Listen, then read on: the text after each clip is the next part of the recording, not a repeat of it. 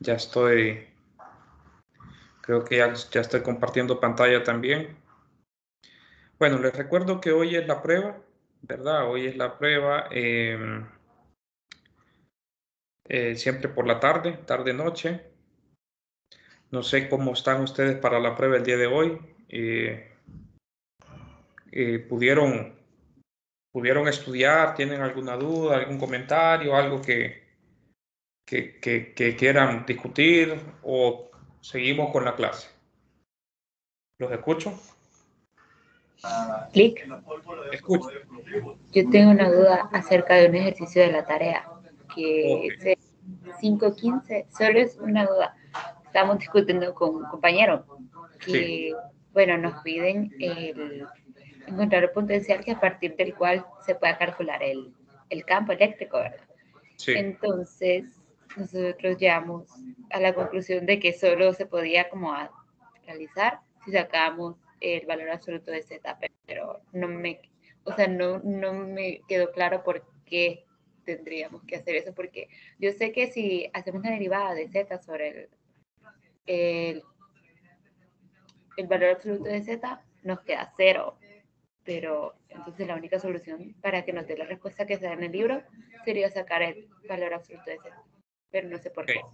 Déjeme, déjeme ver de qué problema me está hablando. Problema 515 me dijo, ¿verdad? Sí. Este de aquí. Un plano infinito cargado con densidad superficial constante coincide con el plano XY. Muy bien. Utilice la expresión de E dada por 3.3 por 313 para encontrar un potencial, eh, para encontrar un potencial dado, ¿verdad? A partir que se pueda calcular E, ¿sí? Utilice la expresión E dada por 3.13 para encontrar un potencial a partir del cual se pueda calcular E. ¿Cuáles son las superficies equipotenciales en este caso? Entonces, esta expresión, solo déjeme ir esta expresión, ¿cuál es la 3.13? O usted me puede recordar, 1, 2, 3. Yo la tengo aquí apuntada. Si gusta, le puede compartir. Ah, pero para, para compartir. Ah, esta de acá. Esta es, ¿verdad? La del campo. Sí. Bueno, entonces usted tiene el campo y le pide que encuentre a partir de esa expresión 5.15 le pide que utilice esa expresión para encontrar un potencial a partir del cual se puede calcular E. Entonces, hoy sí, ya, ya, ya tengo claro cuál es el, ejercicio. Coménteme otra vez su duda. Usted me estaba diciendo que solo puede utilizar esa expresión si usted utiliza la expresión de z entre valor absoluto de z para encontrar quién es el, potencial. Eso era lo que me decía. Sí, que usamos lo de la divergencia, ¿verdad? Para encontrar el campo el potencial y es la derivada parcial de z. Entonces sería z sobre el valor absoluto de z. Pero el compañero llegó a la conclusión que para encontrar la respuesta que está en el libro solo se puede si sacamos el valor absoluto de z. Y no sé por qué tendríamos que sacarlo. Pero, pero le pide que encuentre el potencial a partir de esa expresión. ¿Sí? A partir de esa expresión le está pidiendo que encuentre el potencial. Observe que usted tiene una carga superficial que coincide que es infinita. ¿Verdad? Número uno, que es infinita. Entonces, a partir de ese campo, le pide que encuentre quién es el potencial. ¿Estamos de acuerdo? Entonces, de ese campo eléctrico, ¿por qué saca la divergencia de eso? Porque al final lo que tiene que hacer usted es una integral, una integral de camino, porque tiene el campo. Acuérdese que usted tiene la integral de camino desde un punto 1 a un punto 2 del campo, ¿sí? Le da la diferencia de potencial, ¿verdad? Y ahí el problema le está diciendo que usted utilice esta expresión, sigma entre 2 epsilon sub 0, z entre valor absoluto de z, ¿verdad? Esta, esto es porque acuérdese que si usted tiene densidad de carga positiva en el plano, ¿verdad? Usted tenía un plano, el campo eléctrico iba hacia arriba, ¿verdad? Por eso es el valor absoluto de z entre z, eso ya sabe que tiene 1, lo único que cambia dependiendo de dónde está usted hablando. Si está en la parte de abajo, ¿verdad? De la Z, el campo va para abajo. Si es para la parte de arriba, va para arriba. Entonces, lo que le pide es que evalúe esa integral en un camino dado, que de hecho no importa por qué trayectoria se vaya usted. Aquí me aquí, perdón. No importa por qué trayectoria se vaya usted, ¿verdad? al final e, e, ese producto punto da lo mismo que usted se vaya en línea recta de un punto dado a otro punto. R1 a R2, de Z1 a Z2, ¿cierto? Entonces, para encontrar una diferencia potencial, observe, observe que usted tiene que, porque esto es una integral eh, definida y aquí tiene una diferencia potencial usted tiene que siempre hablar de, un punto de referencia, ¿verdad? Que no puede ser en el infinito porque tiene carga infinita. ¿sí? Tiene que ser un punto arbitrario para tener esa expresión. Ahora, eh, la duda suya está en, en, en este valor absoluto. Eso es lo que yo entiendo. Este valor absoluto es su duda. Sí, pero creo que no es como nos está, lo hicimos diferente, no, no como es. Sí, porque si usted tuviera el, campo, el, el, el, potencial, perdón, si usted conociera el potencial, el campo eléctrico lo calcula con el gradiente del potencial, ¿verdad? Pero no es esto lo que le pide que encuentre el, campo el, campo eléctrico, no le está pidiendo este, sino que le pide que encuentre quién es este, este valor a partir de esta integral. Eso es lo que le está pidiendo el ejercicio, ¿verdad? Porque ya le está dando y le dice que utilice esto para encontrar quién es el potencial. Ahora, si usted conoce este, ahí sí, usted puede encontrar con el gradiente de eso, puede encontrar el campo eléctrico. ¿Hoy sí? Sí, gracias. Ok, y, y, y algo que usted mencionó, mencionó la divergencia. La divergencia de E es densidad de carga volumétrica entre epsilon sub cero. Esto no se les olvide, ¿verdad? Esta es la ecuación, la ley de Gauss en, escrita en forma de ecuación diferencial, ¿verdad? Ecuación diferencial, no en forma integral. ¿Sí? Esa es la ley de Gauss. Porque usted mencionó divergencia. No, no sé si, si se había confundido en esa parte. Pero bueno, muy bien. Eh, no sé si tienen alguna otra duda.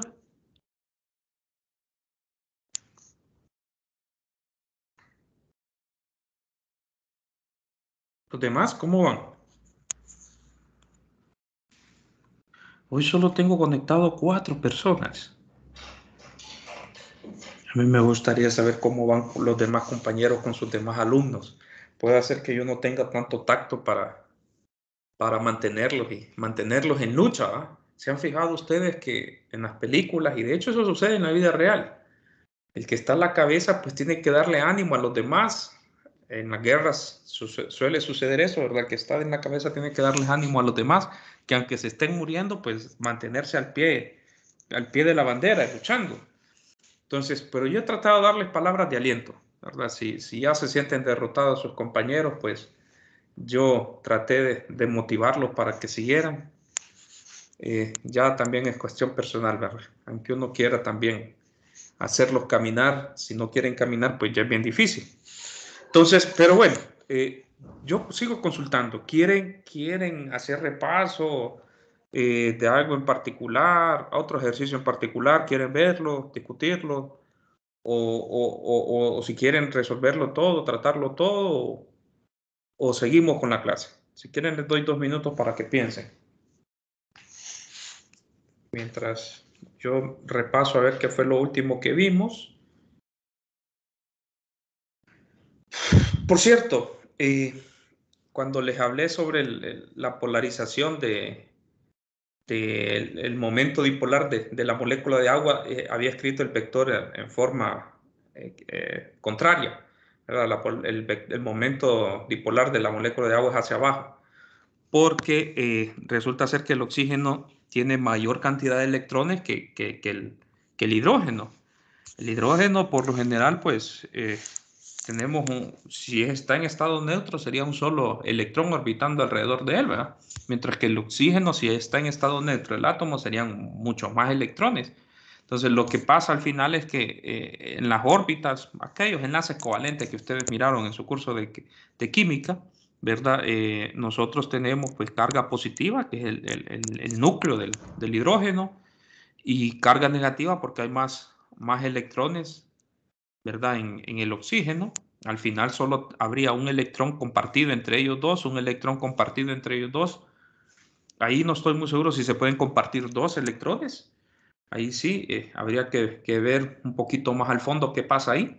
Entonces, el momento dipolar iría en esa dirección. Yo lo había dibujado al revés, la clase, la, vez pasada. Entonces, nos habíamos quedado en esto y creo que estábamos discutiendo un ejercicio. En eso era lo que nos habíamos quedado. Entonces, si no tienen dudas, terminaría de, resolver este ejercicio y miraríamos algo más, ¿verdad? Otro ejercicio más de esto y hasta ahí lo dejaríamos. O les puedo dar chance también para que ustedes estudien, aunque siento que han tenido tiempo, ¿verdad?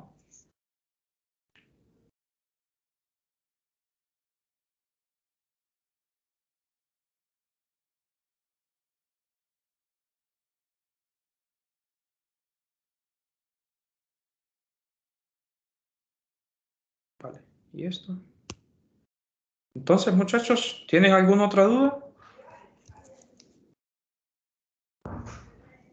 De mi parte, no, Ok, muy bien, está bien. ¿Se sienten preparados para la prueba del día de hoy?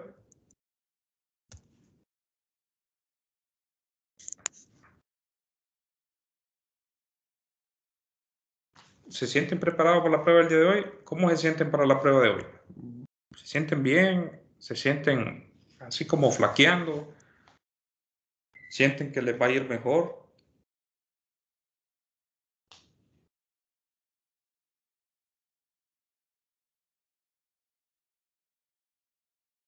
Por cierto, eh, miren, las integrales, como lo hemos estado haciendo, ¿verdad? Las integrales, eh, siempre acuérdense que está Wolfram Alpha. Wolfram Alpha se las resuelve en tres, en tres segundos, ¿verdad? En tres patadas, dice uno. Eh, ustedes si quieren utilizar también Wolfram Matemática, lo pueden hacer. La vez pasada me preguntaban, creo que fue Daniel que me preguntaba, creo que me preguntaba sobre, sobre qué fue Daniel. No me acuerdo qué fue. Creo que era acerca de los campos que nos iba a dejar usar. Ah, sí, exacto, respuestas, ¿verdad? Respuestas. Eh, que respuestas previas para usar en la prueba, si las pueden usar, yo le decía que sí, no hay ningún problema. Por ejemplo, aquellos problemas que involucren ley de Gauss, ¿verdad? Aquellas esferas concéntricas, eh, aquellos cilindros que, que, nosotros sabemos cómo se comporta el campo eléctrico. Eh, si pueden utilizar resultados previos, sí, no hay problema, siempre y cuando nosotros lo hemos discutido en clase, ¿verdad? O, o esté en una tarea, el desarrollo de dicho campo, usted lo puede usar. Pero yo les diría que tengan cuidado con eso, ¿verdad? Porque a veces acuérdense que si la distribución no es exactamente la misma con la que nosotros desarrollamos en clase, el campo no va a ser de la misma, la misma en general, no va a tener la, el, mismo, el mismo resultado. Tal vez eh, el comportamiento del campo ya sabemos que son radiales y todo eso, ¿verdad? Pero al final la respuesta puede ser que por cómo se haya distribuido la densidad de carga varíe un poco. ¿verdad? La expresión, la expresión en la respuesta. Entonces, tengan cuidado en eso. Entonces, yo le comentaba a Daniel que, bueno, aplicar la ley de Gauss en esos ejercicios no le lleva mucho tiempo ni mucho procedimiento. En ese sentido, yo doy puntos por procedimiento, ¿verdad? Por si usted me pone una respuesta de un resultado previo y resulta ser que hubo algo diferente y la respuesta es diferente, yo no puedo dar puntos por eso, ¿verdad? Porque usted solo escribió un resultado.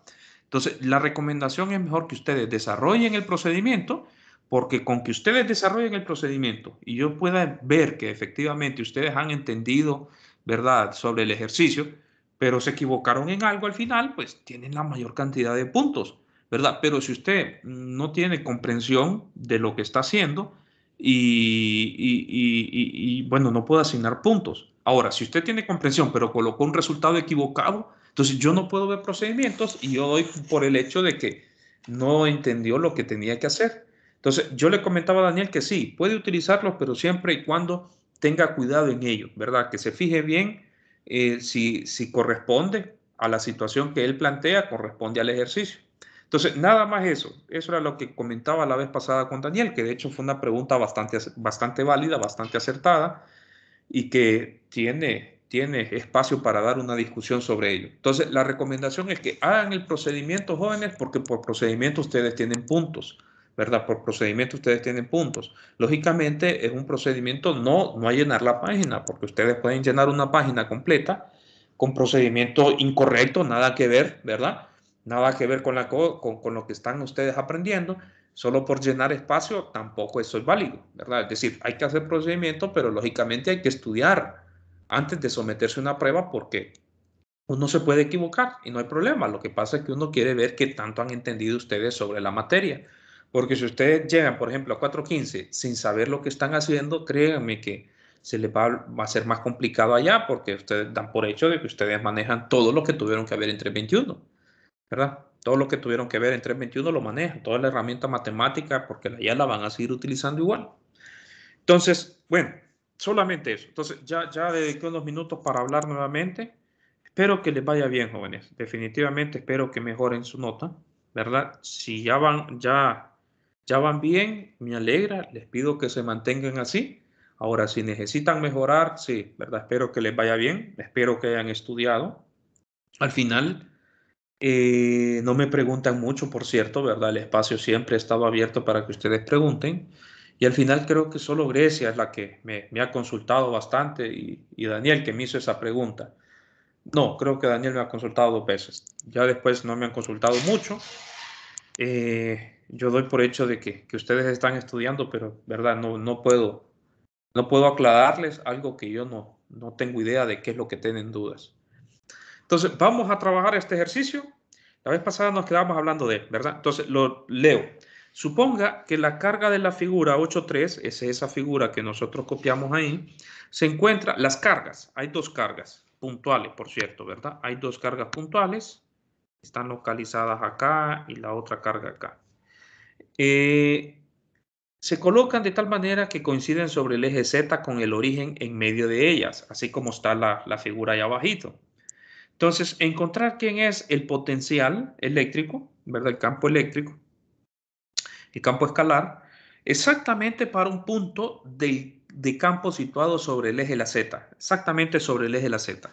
¿Qué tan grande debe de ser Z para que se pueda aproximar el potencial exacto sobre el eje de la Z mediante un término dipolar con un grado de exactitud del 1%. Recuerden que si nosotros estamos utilizando el término dipolar, ¿verdad? Estamos hablando de un término aproximado del potencial real. ¿Estamos de acuerdo? Porque el potencial real constaría del término monopolar. Ah, pero en este, en este caso el término monopolar es igual a cero, porque el momento monopolar es cero, ¿verdad? La suma de las cargas dan cero. Entonces, bueno, quien tiene mayor eh, mayor, eh, mayor aportación es la palabra, es el término dipolar, pero después del término dipolar hay más términos, el término cuadripolar, el término octopolar, y podemos seguir hablando nosotros, ¿verdad?, de los otros términos que aparecerían ahí, pero resulta ser que el término dipolar tiene mayor, mayor, eh, le da mayor aproximación o tiene mayor grado de exactitud que con respecto a los otros dos. Los otros lo que ayudan es a mejorar la exactitud. Entonces, con el término dipolar nosotros damos una exactitud bastante buena, pero me está pidiendo el ejercicio que compruebe a qué distancia yo puedo tener un, er, un error de 1%, ¿verdad? Una discrepancia del 1% con respecto al potencial real. ¿Qué tan grande debe ser Z para que se pueda examinar el campo de Z sobre el eje de la Z mediante la expresión dipolar con una exactitud del 1%, exactamente lo mismo. Entonces, ¿verdad? Tengo que calcular el campo eléctrico y después mirar qué, qué, cuánta es esa distancia. Entonces, ¿qué es lo que me está pidiendo el ejercicio? Me está pidiendo que haga pues aquello que ustedes hacen en el laboratorio, ¿verdad? Encontrar la discrepancia entre el, eh, ustedes le llaman un el, el, el error de exactitud, le llaman ustedes, ¿verdad? El error porcentual de exactitud. Bueno, el nombre que le pongan allá es, al final es lo mismo, ¿verdad? Comparar un término con el otro y la diferencia entre ellos y compararlo con, nuevamente con el valor que usted esperaría y multiplicarlo por 100. Eso ya lo hemos hecho en otro ejercicio. Entonces, la vez pasada estábamos hablando, por ejemplo, que el potencial escalar real exacto, le llamamos así, el exacto, ¿verdad? Como son cargas puntuales es fácil de identificarlo a una distancia z, es decir, a este punto, z, por ejemplo, la carga positiva sería z menos L medios. Es decir, recuerden que Q 4 pi epsilon 0 entre la distancia relativa que separa la carga con el punto de campo, es decir, esta distancia. Es decir, z menos L medios. ¿Sí? Y en el caso de la carga negativa, sería lo mismo, la carga negativo Q, 4 pi epsilon sub 0 y la distancia que hay entre, estas dos, entre esos dos puntos, es decir, Z eh, menos negativo L medios, es decir, Z más L medios. ¿sí? Entonces, eso es, ese es el potencial exacto. Después procedíamos a encontrar quién era el potencial dipolar.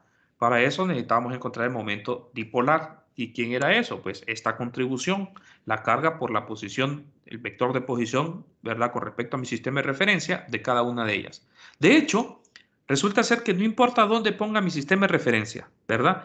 El potencial, el momento dipolar siempre va a ser el mismo. La vez pasada lo comprobamos. Si el momento monopolar es cero, el momento dipolar, no importa de qué sistema de referencia usted me hable, siempre me va a dar el mismo resultado.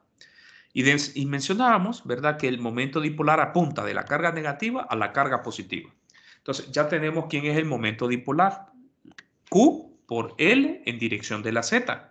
¿sí? Hay algo muy interesante en este ejercicio, que de hecho lo vamos a hacer si nos queda chance el día de hoy. ¿verdad? En este caso hemos orientado el momento dipolar alrededor de un eje en particular, pero el momento dipolar puede estar orientado en cualquier dirección. Es decir, yo pude tener otro ejercicio más general que lo vamos a resolver más adelante.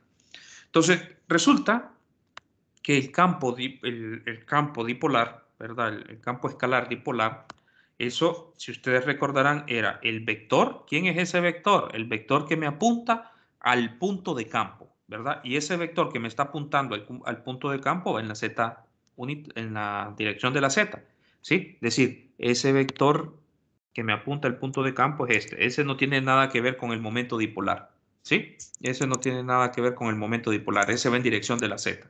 ¿Verdad? Si el punto de campo hubiera estado acá, el vector me apuntaría en esta dirección. ¿Estamos de acuerdo? Ese es un punto, eso solo tiene que ver con las coordenadas espaciales. ¿A dónde? Solo tiene que ver con las coordenadas que me apuntan al, al punto de campo. ¿Verdad? Solo está relacionado con el punto de campo. Entonces, muy bien. Ya como ya teníamos quién era el momento, solo realizábamos el producto punto y ya teníamos esa expresión, ¿verdad? Ya teníamos quién es el campo eh, escalar del, dipolo, ¿verdad? la contribución dipolar. Entonces, ¿qué era lo que me pedía el ejercicio? Simplemente que comparara, ¿verdad? Y, y calculara a qué distancia, a qué distancia, cuando haga la comparación de esto, a qué distancia, si quieren esto lo hago un poco más grande, ¿está? ¿A qué distancia yo voy a tener que esta comparación con el dipolo. la resta de eso, valor absoluto para que me quede una cantidad positiva, lo comparo exactamente con el valor que yo ando buscando de referencia. ¿Estamos de acuerdo? Eso tiene que ser igual por 100, me da en porcentajes. ¿Sí? Es decir, esto por 100 me tiene que dar el 1%. Eso es lo que me está diciendo, que encuentre quién es, a qué distancia z se cumple esa relación. Es decir, un problema muy similar a lo que habíamos hecho anteriormente. ¿Verdad? Es decir, en otras palabras, si quieren déjenme hacerlo, expresarlo, ¿verdad? Esto tiene que ser igual a... De hecho, la vez pasada me gustó, alguien utilizó Wolfram Alpha ahí para encontrarme el resultado. Agradecería también que me lo hicieran nuevamente cuando haga la, escriba la expresión para no estar resolviendo esa ecuación eso tiene que ser igual a 0.01, ¿verdad? 1, 100, sí, 0.01. Entonces, bueno, hagamos la sustitución. ¿Quién es el, el, campo eh, exacto? De hecho, puedo sacar factor común la carga 4 pi epsilon sub 0. Déjenme sacar factor común la carga. 4 pi epsilon sub 0, ¿verdad? Y eso es 1 entre z 1 entre z menos L medios y el otro es negativo 1 entre z más L medios menos, ¿verdad? Este es el, valor que saqué del, del, exacto, menos del dipolo, en este caso del término dipolar es Q, 4pi, de hecho puedo sacarlo factor común de un solo todo, ¿verdad? Pero si quieren lo hago paso a paso, Q, 4pi epsilon sub 0, L, sobre z al cuadrado. De hecho, este es valor absoluto. ¿Sí? Entonces, observen algo. De hecho, yo puedo dejar de seguir utilizando ese valor absoluto. ¿Por qué? Porque yo sé que este es el valor exacto. ¿Sí? Ese valor debe de ser más grande que este valor, porque a este valor nosotros le hemos quitado términos. ¿Estamos de acuerdo? Le hemos estado quitando términos. Lo podemos acá quitar de un solo el valor absoluto porque ya sabemos, ¿verdad? Que esa, esa relación de ahí va a ser 1 o puedo seguir utilizando eh, la expresión quitando el valor absoluto y poniendo más o menos 0.01, ¿verdad? Pero igual, repito, yo ya sé que esa expresión del numerador es 1, no hay ningún problema en eso. Y el exacto es Q 4pi epsilon sub 0 me queda 1 sobre z menos L medios menos 1 z más L medios. Esto es igual a tener 0.01. De hecho, pueden observar ustedes ahí, ¿verdad? Puedo sacar factor común. Eh, puedo sacar factor común el Q sobre 4 pi epsilon sub 0. Puedo operar esto también, ¿verdad? Realizar la suma. Realizo la suma, saco factor común, cancelo términos de arriba con el de abajo, realizo la suma, eso me quedaría z cuadrado menos L medios al cuadrado, me quedaría z más L medios menos z más L medios. ¿Verdad? Z, z se me va, me quedaría negativo L, z cuadrado. Y en el denominador me quedaría exactamente lo mismo, me quedaría L eh, medios, 2L medios, es decir, L. ¿verdad? En el, ya, haciendo la suma me quedaría L entre Z cuadrado menos L medios al cuadrado. Esto es igual a 0.01. ¿Todos de acuerdo en eso? Entonces, pueden observar ustedes que les queda L, L. De hecho, también puedo, puedo eh, si quieren, voy, voy simplificando eso. Me quedaría L y me queda Z cuadrado menos L medios al cuadrado menos L z cuadrado. Todo esto entre L z cuadrado menos L medios al cuadrado. Esto es igual a 0.01. ¿Todos de acuerdo en eso, jóvenes? ¿Vamos bien hasta el momento? ¿Preguntas? Entonces, ¿cómo puedo yo simplificar eso? Entonces, repito nuevamente, si ustedes desean, pueden, ¿cómo se llama? Eh, pueden hacerlo de un solo con, con Wolfram Alpha, darme la respuesta, o simplemente procedemos a realizar la división. Si quieren, eh, divido, ¿verdad? Primer término con el primer término, segundo término con el, con el término del denominador. Es decir, igual eso se puede expresar, hay mil formas para poder trabajar eso. Lo que estoy haciendo es esto, z cuadrado, entre L z cuadrado menos L medios al cuadrado. ¿Verdad? Eso me va a quedar entonces, me queda z cuadrado menos L medios al cuadrado entre z cuadrado. Esto es igual a 0.01. Ya tengo una expresión más sencilla. Eso sería 1 menos z cuadrado más L medios al cuadrado igual a 0.01 z cuadrado. Y lo que ando buscando es para qué valor de z, ¿sí? ¿Qué valor de z yo voy a tener pues esa expresión? Y ahí pues puedo, puedo sumar eso, me quedaría 1, ¿verdad? Me quedaría 1.01 z cuadrado y esto tiene que ser igual a 1 más. De hecho, puedo, puedo también esa expresión eh, eh, factorizarla, ¿verdad? Eh, vamos a ver. Eh, más L medios. Bien, bien pude, perdón, ahí tengo un error, ¿verdad? Esto, esto, aquí me comí, hay un Z que no, no había multiplicado, pasé a multiplicar el Z y aquí tengo Z cuadrado, ¿cierto? Z cuadrado, me queda menos Z cuadrado más L medios, me queda igual a 0.01, ¿sí? Entonces, puedo ver, ¿verdad? Porque eh, tengo una resta, tengo una resta, solo había pasado a multiplicar el Z cuadrado. Puedo ver que esto me queda, se me cancela y de ahí fácilmente puedo entonces sacar que z cuadrado no es más que la raíz cuadrada de 1 entre 0.01 de L a la 2 entre 4. Y ese z, ¿cuánto da z? Es decir, raíz cuadrada de 0.01 por 4, raíz cuadrada de eso, le queda, si me lo dan como, como un valor aproximado, o sacan sacan lo que el resultado, ¿verdad? Ya, ya con la raíz les va a quedar un número acompañado con L, ¿cierto? ¿Cuánto les da eso? ¿Alguien que me pueda sacar? ¿Sí? A mí me queda 5L a la 3 medios. 5. ¿Por qué le queda la 3 medios? Pues lo metí en Wolfram, la original, y eso quedó. No puede quedar a la 3 medios, porque, a menos que me haya equivocado, tiene que quedar, porque observe que Z es una longitud, tiene unidades de longitud, y esto tiene unidades de longitud. Mientras que si usted lo pone Z5L a la 3 medios, ya esto tendría unidades de metros a las 3 medios. Ya no Z, ya no es una longitud, ¿cierto? Ya no es una longitud. Entonces, hay algo raro ahí. Verifique bien que en Wolfram Alpha lo ingresó bien. ¿Verdad? No le puede quedar a las 3 medios, justamente porque no es unidad de longitud. ¿Verdad? 3 medios no es una unidad de longitud. Mientras que, al menos que me haya equivocado, que que traté de, hacerlo lo más... Bueno, no es, tan complicada, ¿verdad? Este desarrollo no es tan complicado. Eh, hasta aquí vamos bien. Hasta aquí vamos bien. Eh, vamos bien. Divido me queda 1, vamos bien, z cuadrado, está bien. Sí, me queda z igual a 5L. Verifique bien eso. Sí, ya, ya, que tenía un error al momento de la introducción. Sí, 5L, ¿verdad?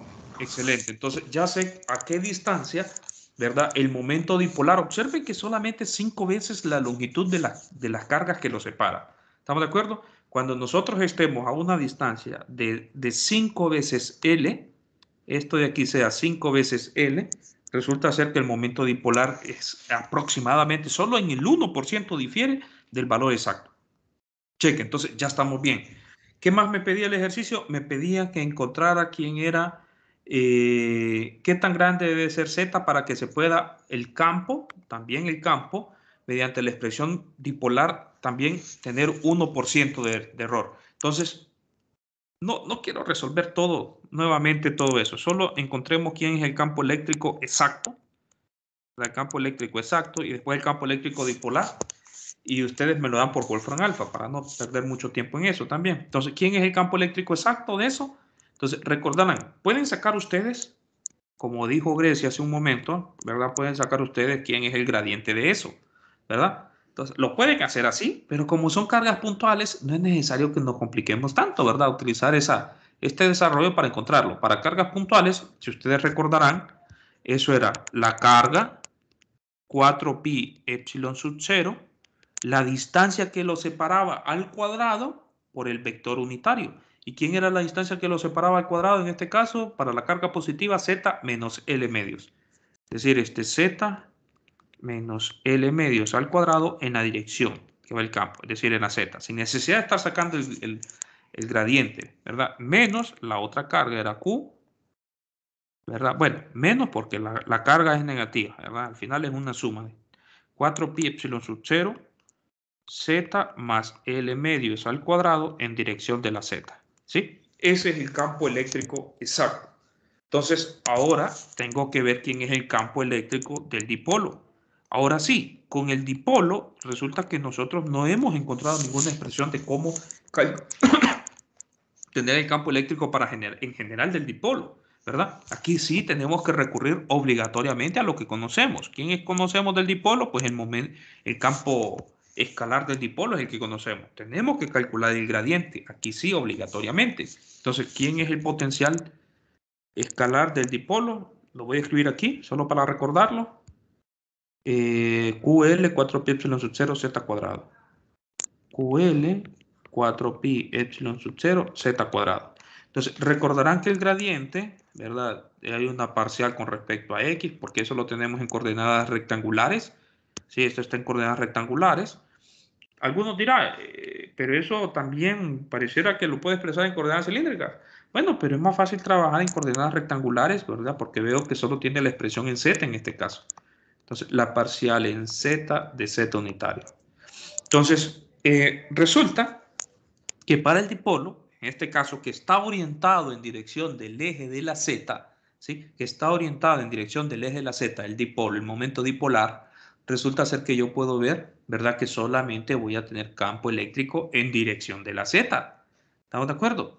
Entonces, el, el campo eléctrico de ese dipolo va a ser igual a tener negativo, tengo que sacar la parcial con respecto a z, es decir, QL 4 pi epsilon sub 0, la parcial con respecto a z de 1z cuadrado, ¿sí? En dirección de la z. ¿Quién es eso? Eso va a ser... ¿Qué pasa con las demás componentes? La componente en X y en Y, el, campo eléctrico en X y Y, pues del dipolo es cero. Y si usted quiere calcular en el campo eléctrico exacto, también se va a dar cuenta que va a ser cero. Solo tiene campo eléctrico en Z. Entonces, eso me va a dar eh, Z a la negativo 2, me queda, ¿verdad? Me queda, me queda esto, ¿verdad? Me queda eso. El negativo 2 pasa a multiplicar, me queda 2 pi epsilon sub 0.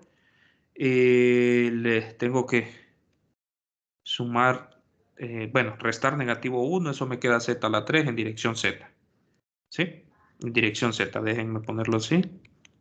z a la 3 en dirección z. Entonces, cheque, ya tengo quién es el campo eléctrico eh, del dipolo y el campo eléctrico exacto. Entonces, nuevamente, hacemos exactamente lo mismo, ¿verdad? El campo eléctrico exacto menos el campo eléctrico del dipolo entre el campo eléctrico.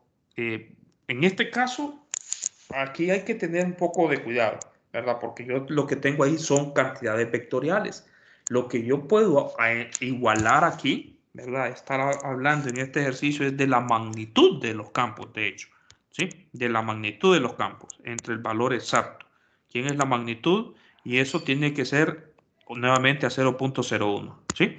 Entonces, bueno, no hay ningún problema en esto, ¿verdad? Eh, sería, nuevamente, copio todo esto, déjenme copiarlo todo así, a no estarlo escribiendo y no perder mucho tiempo en eso. Entonces tengo este valor,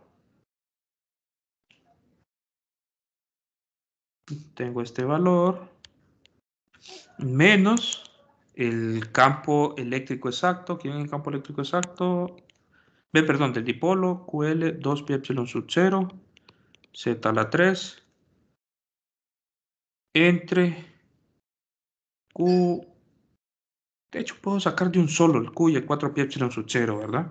Me queda 1 sobre Z menos L medios, eh, menos 1 sobre z más l medios, lo único que en este caso es al cuadrado, y aquí tengo al cuadrado, ¿sí?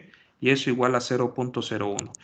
Eh, ¿Pueden factorizarlo nuevamente ustedes? Sí, ¿verdad? Podemos factorizar. Si quieren, factorizo para que quede expresado, para que de un solo puedan ustedes hacerme esto en, Wolfram alfa 1, z menos l medios al cuadrado, menos 1 z más l medios al cuadrado.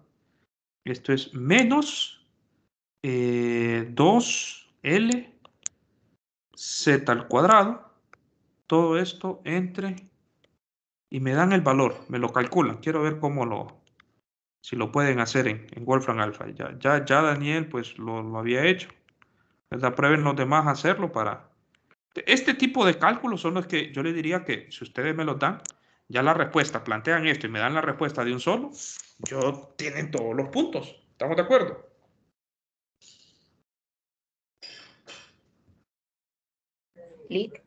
Sí. El campo eléctrico del dipolo no era Z a la 3. Z a la 3. Yo escribí Z a la 2. Muchas gracias. Eso sí es un error. Y ahí les iba a dar algo raro. Muchas gracias.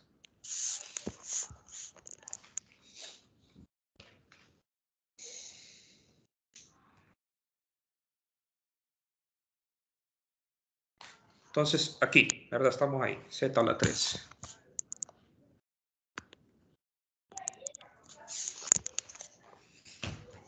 De hecho, el proceder de este es muy similar a lo que hicimos hace un momento, ¿verdad? Atrás. Pero denme el resultado. ¿Lo, pueden ingresar así o necesitan que lo simplifique un poco más? Porque podemos simplificar un poco más esa expresión si ustedes gustan.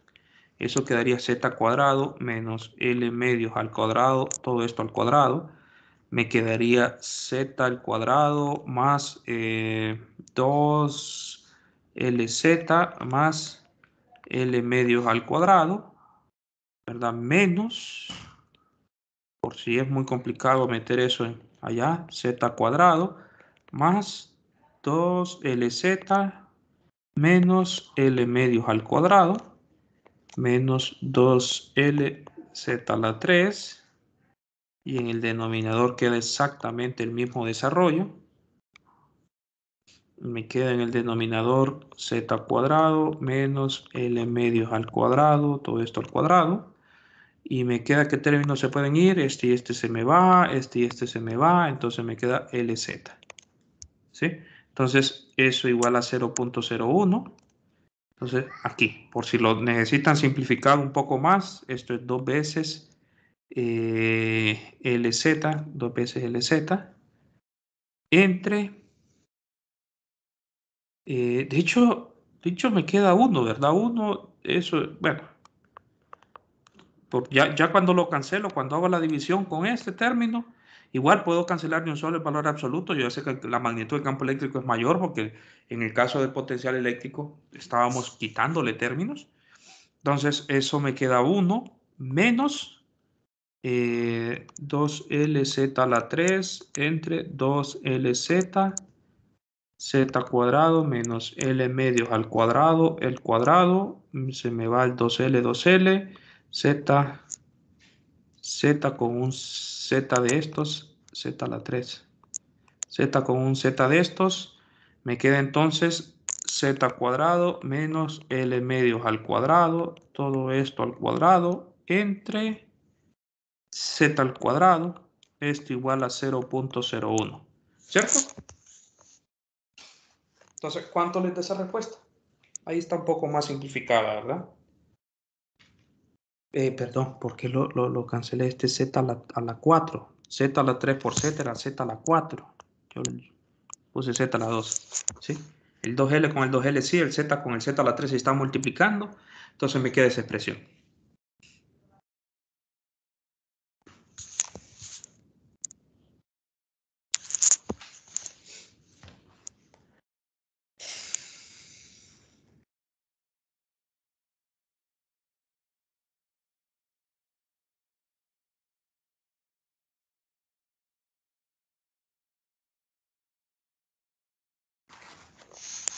¿Lo seguimos resolviendo o alguien lo metió ya?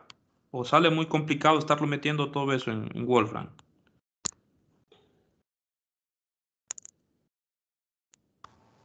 ¿Me escucho? Da varias respuestas. ¿Qué respuesta le da? Vamos a ver, permítame solo corroborar que lo me puse bien. Ah, bueno, entonces terminemos de resolverlo y después me dice usted cuál respuesta le da, porque hasta ahí vamos bien, ¿verdad?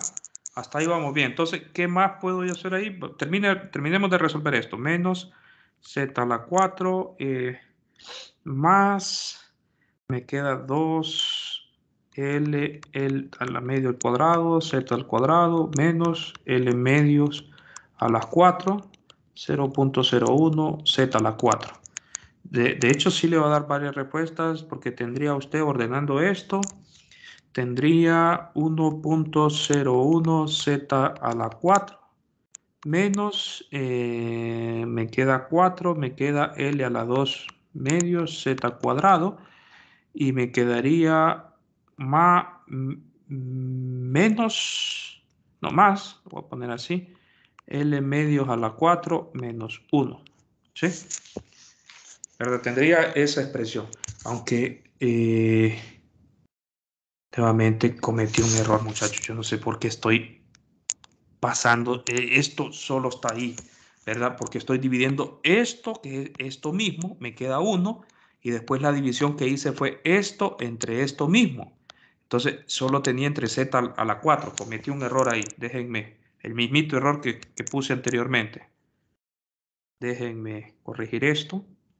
Eso es z a la 4 menos eh, z a la 4 le queda más 2 z cuadrado por l medios al cuadrado menos l medios a la a la 4 esto por 0.01 z a la 4 esto y este se me van cierto z a la 4 z a la 4 y tengo aquí expresión que es una ecuación cuadrática 0.01 z a la 4 más un medio de L al cuadrado, Z a la 2, eh, menos un medio de L más L medios a la 4. Es una ecuación cuadrática, hay que resolverla.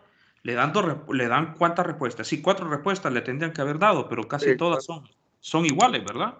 Solo lo único que cambia son los signos. Sí.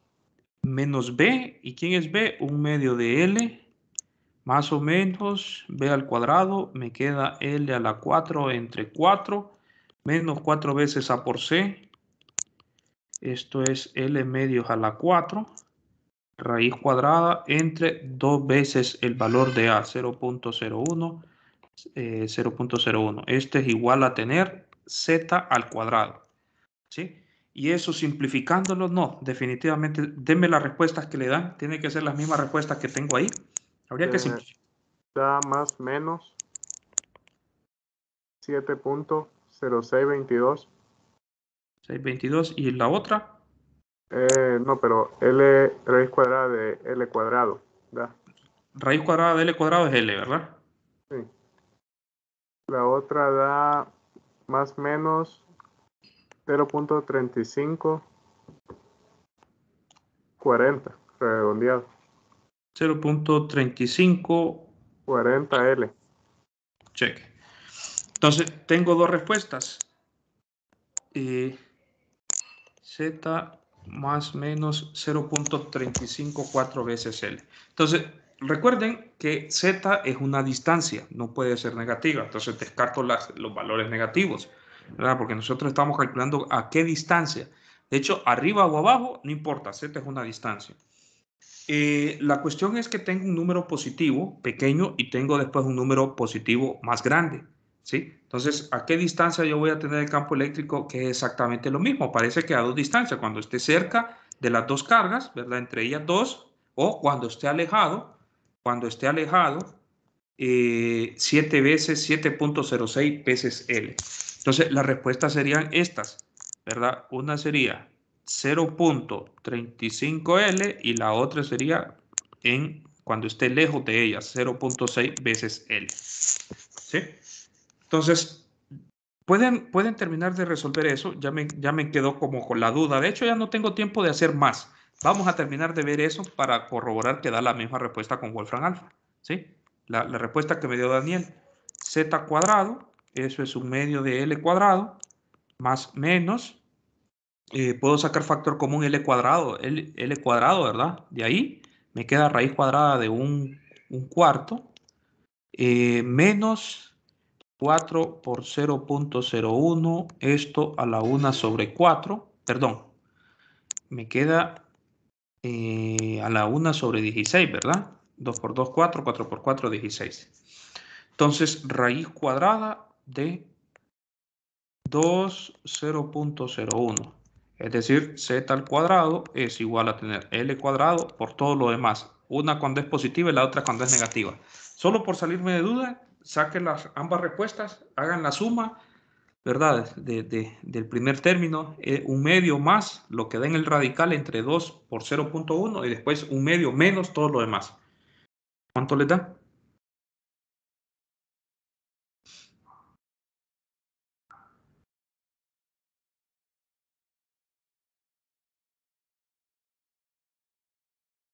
Estos ejercicios son como bastante, no son difíciles, sino tediosos, ¿verdad? Porque lo que conlleva es un poco de álgebra y un poco de aritmética. Entonces, este tipo de ejercicios tediosos definitivamente salen más fácil resolverlos con Wolfram Alpha, con la computadora, con la calculadora, con lo que ustedes quieran y darme solo la respuesta, ¿verdad? Ya lo que es álgebra y aritmética, ustedes ya lo manejan bien y eso no es necesario.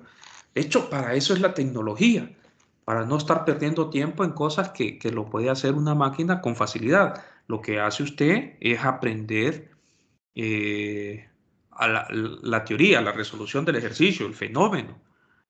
¿Verdad? Bueno, ¿alguien lo hizo? Con el signo más queda 7.0622L. 7.026. 22L. 22L. Ah, ya con la raíz cuadrada. Sí, ya con la, ya la, final, respuesta ah, final. 7.022L. ¿Y el otro? El otro ya le digo.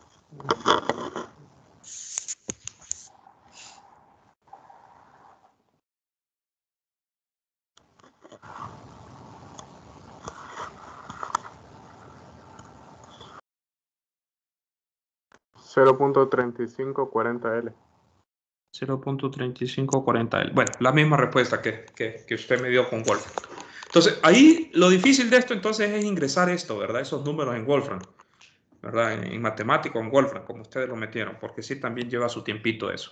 Entonces, ¿alguna pregunta, jóvenes? Yo creo que ya no me quedó chance de ver un caso más general, ¿verdad? Quería ver otro ejercicio, porque este es un caso particular en el cual el potencial, el cual las cargas se orientaron a lo largo del eje de la Z, ¿verdad? En el cual el dipolo está también orientado al eje de la Z, ¿sí? Está a lo largo de un eje en particular. Hay un ejercicio, hay, ahorita que acabo de ver, ¿verdad? Porque me pedí el campo eléctrico, hay un ejercicio eh, bien bonito que me pide qué pasa si ahora el dipolo está en esta dirección, el momento dipolar va en esta dirección. ¿Verdad? ¿Cómo se va a ver la componente del campo eléctrico? ¿verdad? ¿Cuál es el campo eléctrico? Para un dipolo que está orientado en cualquier dirección. Cuando está orientado a lo largo de un eje, pues magnífico. Miramos que no, no lleva mucha complicación, ¿verdad? Porque solamente van a quedar las direcciones eh, del campo eléctrico, solo va a tener dirección a lo largo de ese eje. Pero cuando está orientado en una forma arbitraria, ya la cosa ya e, es un poquito más complicado, ¿verdad? Eh, si queremos encontrar una expresión, una fórmula. Hay un ejercicio de Bagnes que me pide eso, que para un dipolo orientado en cualquier dirección, que calcule quién es el campo eléctrico que me genera. De hecho, solo déjenme enseñárselos para que con eso vamos a comenzar el día de mañana. Y vamos a seguir trabajando en ese. Solo déjenme ver. Esta es energía, es una expresión parecida a esta. Este, el problema 8.3. El campo eléctrico para un dipolo orientado en cualquier dirección viene dado de esta forma. ¿sí? Entonces, mañana vamos a demostrar eso. Mañana vamos a demostrar eso, que esta sería la expresión del campo eléctrico para un dipolo, el momento dipolar, ¿verdad? Para, para la contribución dipolar. Entonces, no sé si tienen alguna pregunta, jóvenes, alguna consulta, alguna duda. Este es un ejercicio impar también, 8.13, solo déjenme verificar la respuesta a ver si, si lo que tenemos está bien también. 8.13.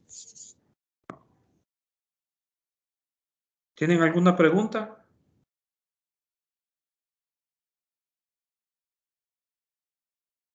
Ocho tres. Eh, me dice eh, ¿qué es esto? Bueno, el 5L ya me lo habían dado, ¿verdad? Que fue para el campo, para cualquier valor mayor que 5L y cuando Z sea 7.6. Significa que Vaina me está diciendo que el valor pequeño, el valor, ah, tiene razón, hombre. Este valor de aquí lo tenemos que descartar. porque este valor no es válido, muchachos? Ya, tengo, no, no, no es, ese es cierto, ese no se puede utilizar. ¿Por qué ese valor de ahí no es válido? ¿Alguien me puede responder? Ya se me había escapado a mí también. Este valor es el correcto porque este valor, aunque matemáticamente hablando me dio esta respuesta, porque este valor no es válido para mi solución. No, no es válido para mi solución.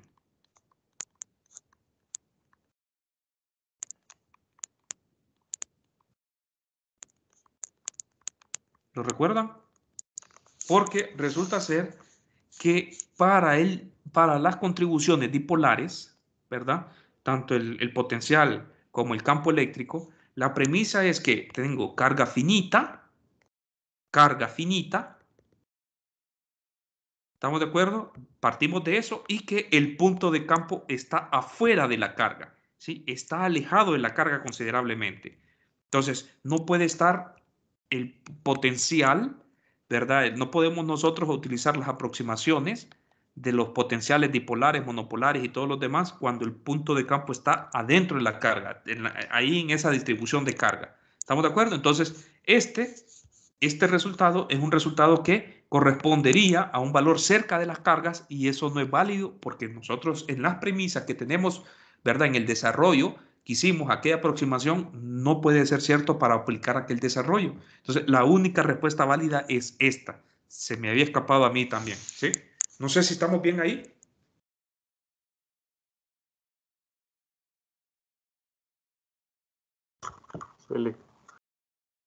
Bueno, muy bien, muy bien. Entonces, muchachos, muchachas, nos vamos entonces a quedar hasta aquí, ¿verdad? Les deseo éxitos.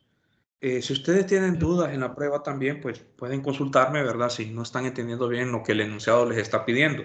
Yo también les puedo orientar. Lo único que sí, las dudas ahí en las pruebas son, son privadas para, en el chat privado para no interrumpir a sus compañeros. Entonces, eh, nos vemos más tarde, jóvenes. Pasen. Escucho. Eh, bueno, eh, quería ver si existe la posibilidad de que la tarea se pueda mover uno o dos días. bueno, si los compañeros están de acuerdo, no, sé si... Sí, sí, no, hay problema. Igual, si los compañeros ya han terminado la tarea, ya la pueden subir. Se la voy a dejar entonces para que la suban, hoy es lunes, ¿verdad? Para que la suban a más tardar el día miércoles. Está bien, gracias. Excelente. Bueno, pues sí, pasen feliz día entonces. Éxitos. Igual, feliz día. Muchas gracias.